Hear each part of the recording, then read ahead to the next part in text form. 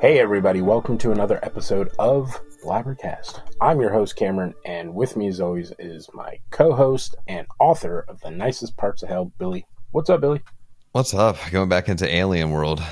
A little bit, a little bit. Uh, this week, ladies and gentlemen, we are going to be diving into the 1995 cult classic. That's right, everything's a cult classic here on Blabbercast. The 1995 cult classic Species, starring Ben Kingsley, Michael Madsen, Alfred Molina, Forest Whitaker, and Natasha Henstridge. Um, this was directed by Roger Donaldson, written by Dennis Feldman, and is not bad, uh, especially for the time. Uh, this was a movie that, uh, as a young male, caught my attention because it had that cool sci-fi action horror thriller thing going on, and it really hop on.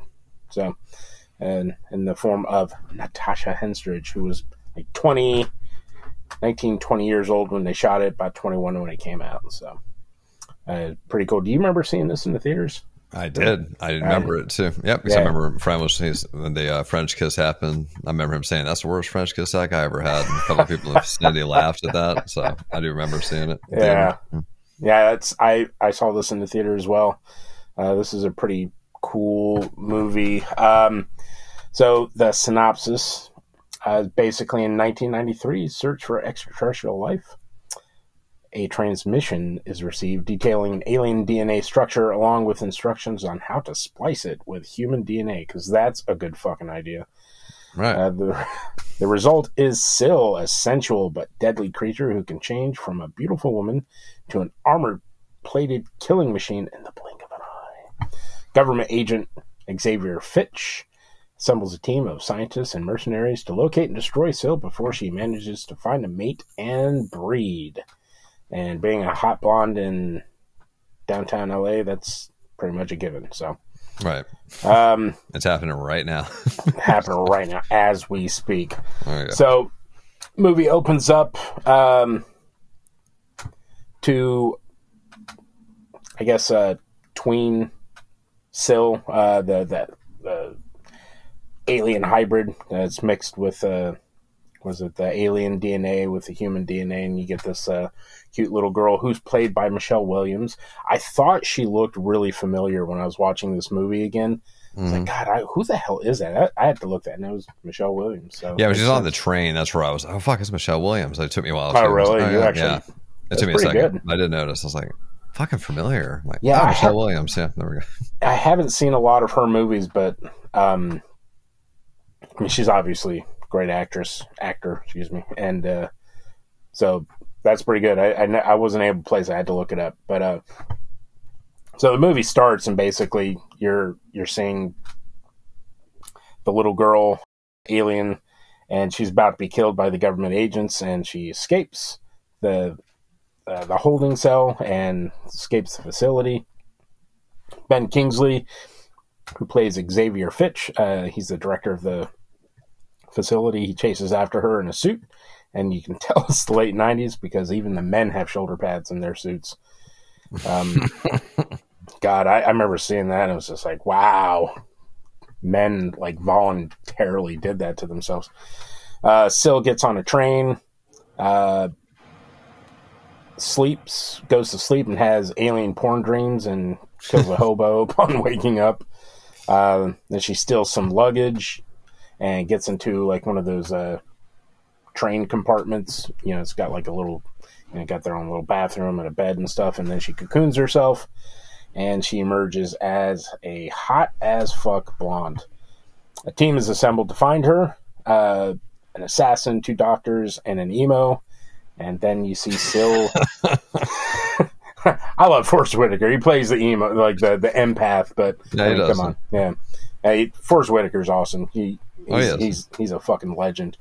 Um, but uh, then you see Sil get a hotel room, and then yeah, the team goes on um, mr science and they try to grow another alien and the hot doctor and the assassin almost die replacing a camera Ben Kingsley lets them out of the room after saying he couldn't let them out of the room when the alien thing grows and attacks them. I always thought that was weird. It's Well, like, I think- I think- you out.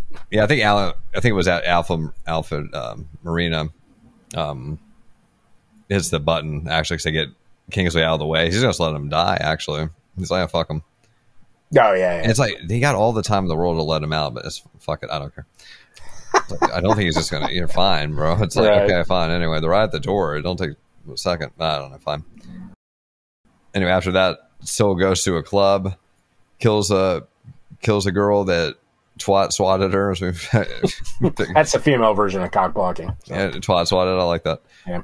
Picks up a douchebag, uh, kills him when she senses he's a diabetic, tries to leave him. Uh, she tries to leave, and then she kills him when he tries to date rape her. And that's where we get the worst French kiss he's ever had of all time. Son of a bitch. Son of a bitch. Team find, finds a dead diabetic and realizes she's trying to mate and reproduce. This is bad when it's with aliens. It's always bad when it's with aliens. Depends on your perspective. Um, so sorry, but still, Quite a way to go. Sil wakes up in the diabetic. trying. Sil wakes up in the uh, di- diabetic's car after having yet another wet dream about Xenomorphs doing it Xeno style. She wakes up and drives off. It runs out of gas. She starts to walk and gets hit by a car. Yeah, and then a nice guy just happens to be driving by. Very Happens- nice, polite man. Yeah, you know this is fiction because it's L.A. Nice guy calls 911 on his absurdly 90s brick of a cell phone. God bless the 90s. Um, Sil wakes up in hospital and her shoulder's all fucked up and she heals herself with Wolverine like regeneration. Sil goes home with the nice guy that got her to the hospital. She tries to do him in the hot tub. Nice guy freaks out and gets killed for not putting out. Jesus. The team, always one step behind, gets to the nice guy's house. Sil escapes the team again and takes a help, uh, a very nice, helpful woman hostage. Uh, Sil has horny teen-like wet dream fantasies by, about Michael Madsen's character. Sil, lure, Sil lures the team to chase her and then fakes her death. Pretty elaborate scheme there.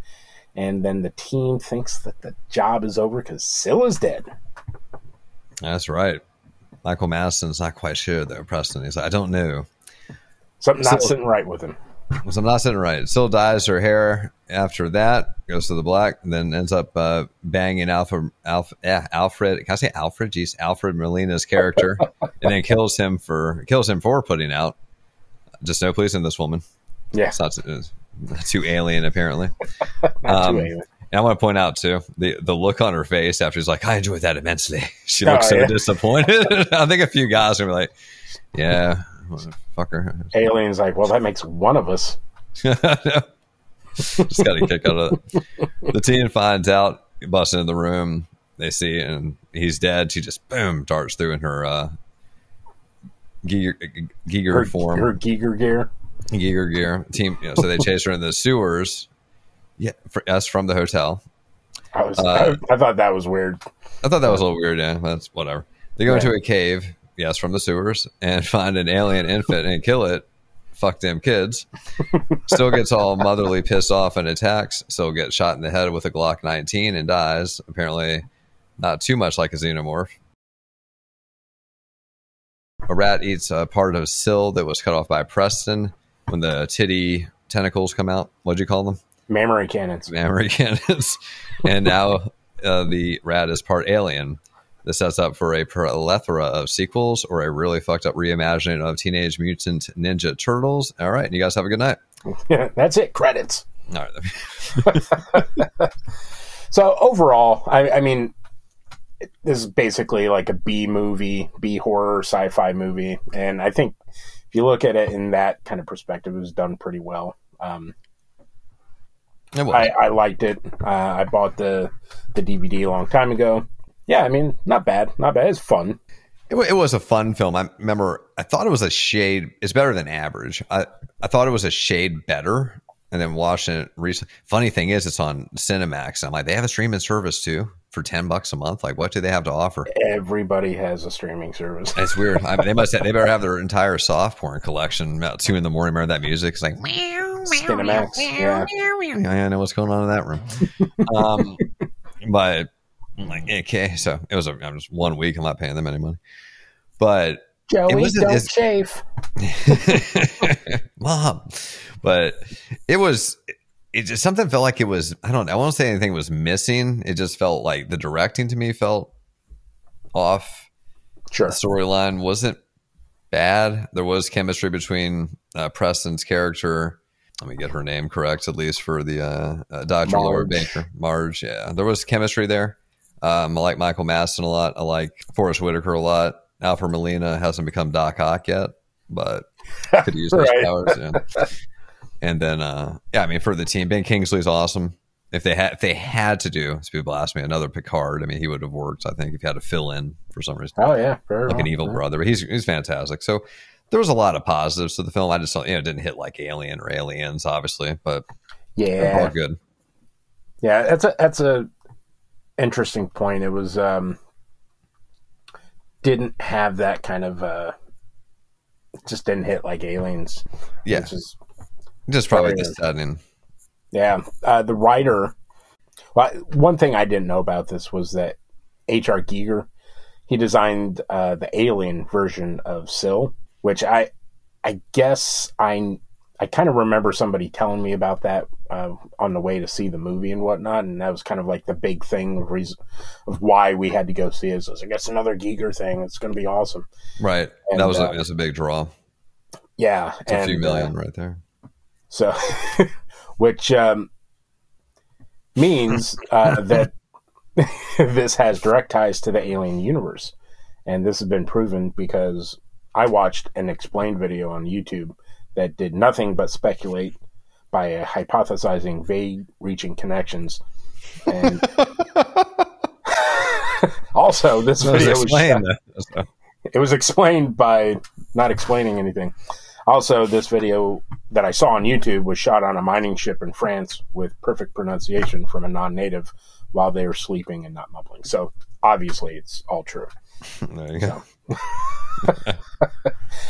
A real factoid about this movie is uh, in 1995, in August 1995, a woman named Madeline Tol- Tolent- Tolentino from Puerto Rico allegedly spotted a chupacabra, which is supposed which supposedly had killed several animals in the last months, and she later admitted that she actually described Sil, the creature from this movie, uh, and believed that the events depicted were actually happening in her town. Oh, wow. So this happened wow. in um, Canovanas, Puerto Rico, and that's where I will be vacationing, so I can get The human form looks like. Colombian coca. there you go. You know that shit's good. and the human form looks like that, so I'm going. I'm fu- I'm moving there. So, Oh, there you go. um, and apparently Michelle Williams, who played the younger version of Sil, she dislikes this movie so so much, basically because she got a shit ton of bullying. Uh, she received after the release of the movie. Just This fucking is weird for what? Yeah, I don't know. Like kids are fucking stupid. Fuck them kids. You were in a movie, huh? Dumbass. Yeah. Huh. Excuse me while I go play kickball, nerd. Yeah, what a Um, geek. Whatever. I'm getting the Sega CD. Fuck you. Yeah, I'm, I got Sega CD. Stupid. Um, fucking retards. Michael Madsen uh, signed on to do this movie immediately because it it was uh, one of his first chances to play a heroic uh, heroic role for a change, and kind of makes sense because a lot of the stuff I remember him from, he's playing kind of a villain like Reservoir Dogs, Kill Bill, Right. Yeah. you know, both of the Vols. Um, Mhm. so yeah, pretty neat, pretty neat. Then Dennis Feldman uh, had the idea for Species in 1987. As he was worked on, he worked on another film about an alien invasion, so Real Men in 1987. Arnold Schwarzenegger was briefly interested in the script, but it was clear that the budget wouldn't allow allow that. Yep. So that would also tie into the Space Arnolds and the Black Goo. So there we go. So I think we're finding we're actually figuring some shit out here. Um, for the hundred views we get on this video. Anyway, um, That's a great But, thing uh, about being shadow banned by YouTube is you don't have to put on a lot of sunscreen. protect Right. yourself from cancer. You just Well, I'll put explained in the title. Might go up another hundred. But explained anyway, uh. There we go. the, this is the the- theatrical movie debut of Natasha Henstridge. Still, who I did think she did good. Like I great. wasn't- I'm great. Line delivery was good. Um, had a nice far away, just a look. Not just, you know, obviously a beautiful woman, but the f- look of an alien just studying things. I thought that was she did a phenomenal job. Very good point. Yeah, H.R. Giger had envisioned more stages of Sil's transformation, but the film only employed the last one. Giger also envisioned Sil glowing with red orange heat, getting brighter and hotter as she got angrier and or, or felt more threatened. The studio claimed such a thing wouldn't be possible. And then when Giger had test designs made to show that, yeah, it can be done, they still said no. So it cost more money, and they wouldn't be able to get enough of that pure Colombian coca. you're dipping into our coca version. Hey, hold on, man. We gotta have money for that. Anyways. Uh, Giger disliked the ending the screenwriters had created, feeling it was too similar to both Alien Three and Terminator Two: Judgment Day.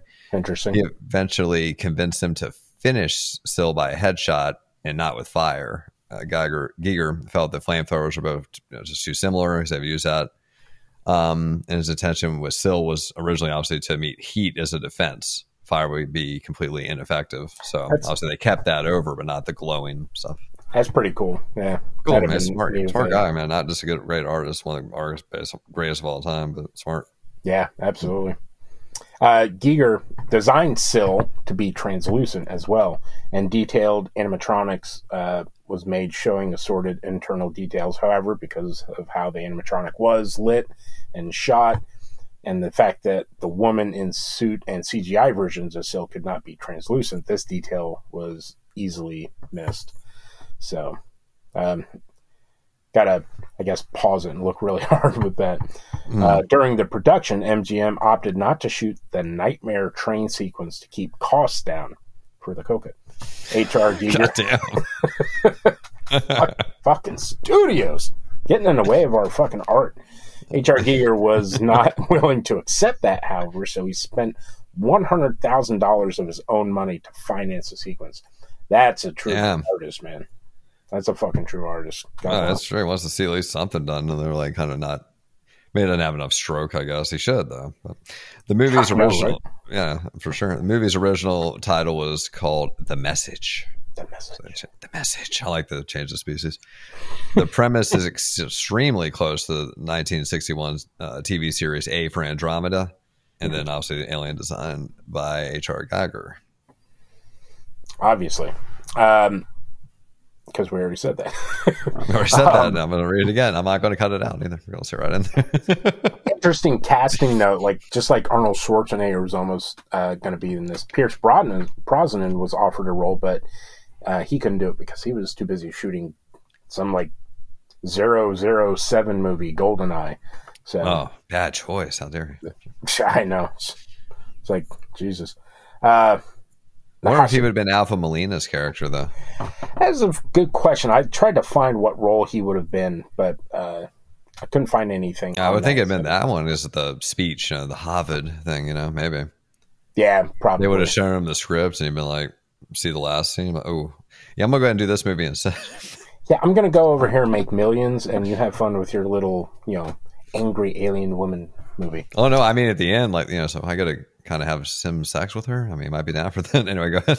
Heck yeah, fuck James Bond. Um, so I may be backwards. Sorry, go ahead. Natasha Henstridge uh, was only cast to save money for the Coca. It's not a movie that calls for stars, Mancuso was quoted as saying.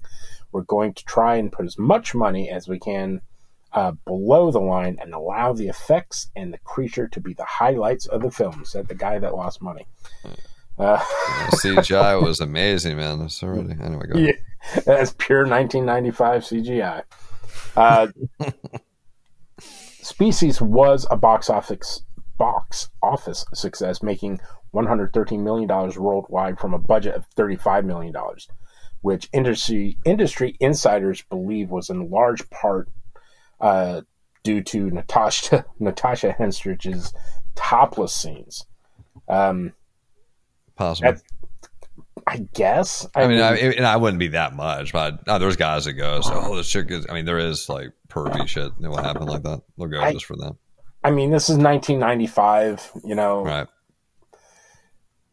I guess there was internet porn, but on dial-up you had to wait forever.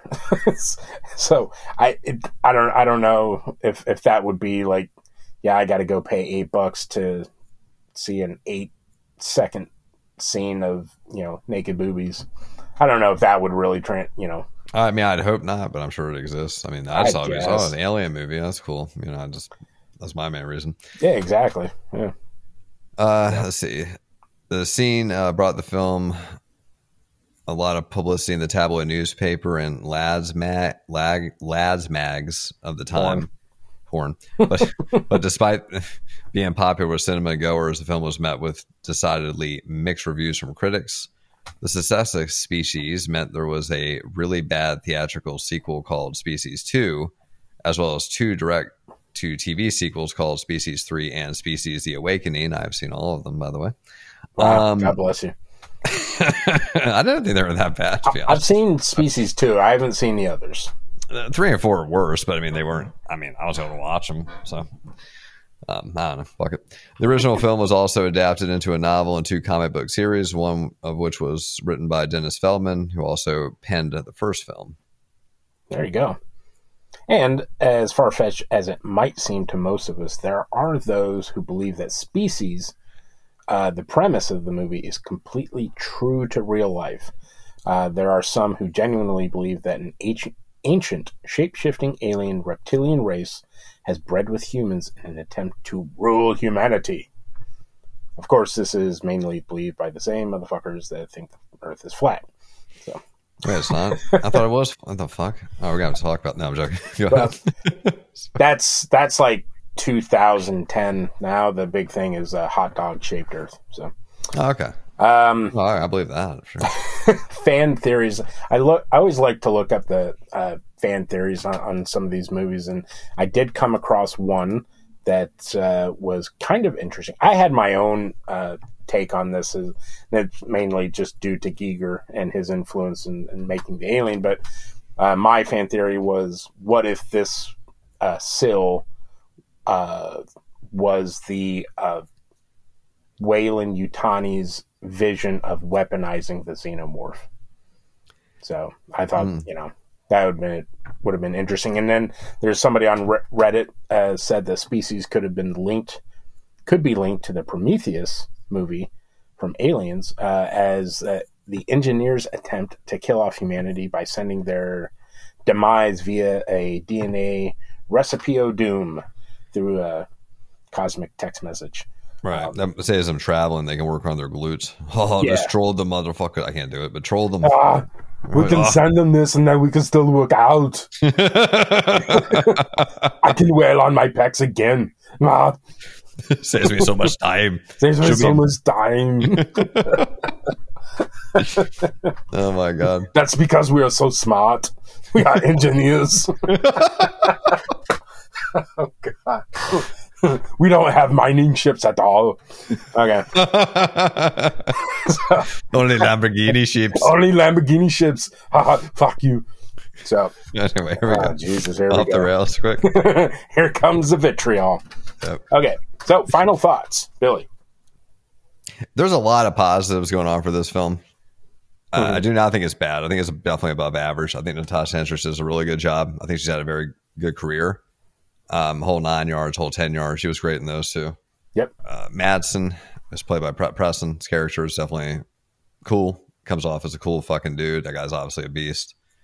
He had a good chemistry with the uh, other the other chick. Uh, Alfred Molina, Doc Ock does a good job. I don't know exactly what the fuck they're there for though. I mean, it just seems like the team would just be like, "Oh, it's all military guys and rah, rah, rah, rah, rah, shoot the bitch." Bomb, bomb, bomb, bomb, bomb, bomb. Bomb, bomb, bomb, bomb. Yeah, just bombing everything. But mm, it had it had interesting things. It was cool. It's definitely it has that B movie feel. Uh, if you want to see some really C movie fills, watch uh, three and four. Um, Which I'm not- going to do now. oh, they're yeah, yeah, they're not they're watchable. Two, I'll just get in. We're never going to probably cover two. I have a doubt unless we get really bored. Uh, and I did think the sequel was watchable. I saw that in theaters as well. It was watchable. Um, you know, pretty cool shit. They had a little Mars mission and, and a nice little storyline. So Cool. they made they got a franchise out of it. That's what, to me. They should try today. Try to do something outside the box and see what sticks. Sometimes you never know. You might find your next Aliens franchise. But this did yeah, it did something. It made a lot of money overall. Yeah, it spawned uh, a couple careers, especially for Natasha. Mhm. Um, for me, all I got to say is a cool film for a sci- B movie, sci-fi B movie. Yes, Natasha Henstridge is hot. That's obvious, but it was still a fun movie, perfect for a Friday, Saturday night. The fact that Giger was involved was evident and a cool touch. Not much else to really say. I mean, I love Forest Whitaker, but some of his quote unquote insights were a little bit too blatantly obvious, like the in the train compartment when you know uh, the team gets there and there's an alien cocoon, cocoon and a dead body, and Whitaker says something bad happened here. But yeah, no shit. I think I think Michael Madsen's character does say that. Yeah, Yeah. Yeah, it, that's the very next line. But I mean, like I was thinking it as he was saying it. Oh, okay. And then there's uh, the dead guy's car that ran out of gas. The dead uh, diabetic douchebag date raper piece of shit. Oh no, no, that wasn't the date raper. That was the um, that was the nice guy's car. Nope. Oh no, you're right. That was the date raper. I'm wrong. Yeah, it's the black BMW. She drives off, runs out of gas, and then uh, um, the team finds out, and they they they they're they're notified that oh they found the the, the diabetic's car it ran out of gas, and so they go there, and then Whitaker's sitting in the car, and he says uh, she walked. She walked. She walked that way. It's like, well, yeah, no shit, man. I mean, the bitch didn't fucking float. I mean, well, she could have since she's an alien and obviously high on the black goose since it was never mentioned or explained. But it was just a little bit. uh, Okay, thank thank you, Forest. Just sit over there and you know, there's a tissue crying to that. But uh, so yeah, and I already mentioned the, my fan theory about the being Weyland-Yutani's idea of the perfect xenomorph. That obviously doesn't uh, pan out with the timeline, but um, You want to read something? You want to read these, right? no, you want to? okay, so I'll go over it again. Um, so the interesting idea that I had, like I said, was it could be the Sil, could be the Weyland-Yutani version of a weaponized xenomorph. Uh, excuse me, hot blonde morph, uh, horny morph, titty morph, mammomorph, or burrito Eh, whatever. Since none of these morphs were explained, I guess they could exist, right, Ridley? Anyway, it's a It deacon. it's a deacon. It's a uh, fuck you. You know what Um, reminds me real quick on the side of wrestling? It's like when somebody comes down the ramp, you have Jim Ross, like, oh my God, it's, you know, it's a wrestler you didn't really give a shit, came back. That's Oh, what right. the deacon reminds It's a deacon. It's like, who? Rock come, did, did the Rock come back? No, it's just, I don't know who the fuck that is actually. I'm like, okay, fuck it. All right, go ahead. Yeah, and it, it is weird that a government would be so eager to blend alien DNA with our own. I mean, all it took for them to be to to whore out humanity was a more em- economical version of gas. I mean, Jesus Mm. Christ. And also, too, she was just having um, rapid eye movements. Oh, let's gas her. I'm like, that doesn't seem like good enough. Just he's dreaming. Like, oh. Jesus, oh, dude. I mean, she's safe and like it contained in there. yeah, it's not the fact Bro, that she she, was grew, having fucking dreams. Okay. it, it's not the fact that she grew into a twelve year old in a matter of weeks. It's that she dreamt. I know. Jesus Christ, guys, you guys are. It's like okay, we got the we got the really economical methane gas. We can make money on that. Now kill that bitch before she has a bad dream or something. I don't know. I don't know. Jesus. So, yeah, great movie, fun movie. Uh, obviously a B movie, but uh, I like it. So we're good there. Same. There you go. So, ladies and gentlemen, uh, thank you for sticking around. If you're new here, the five or six of you that are new, uh, thank you for sticking around. Thank you for uh, listening to our show. Drop us a comment uh, if you've seen this movie, what your favorite scene was, and uh, any stuff that we missed and fucked up, because I know there are some, because it is us.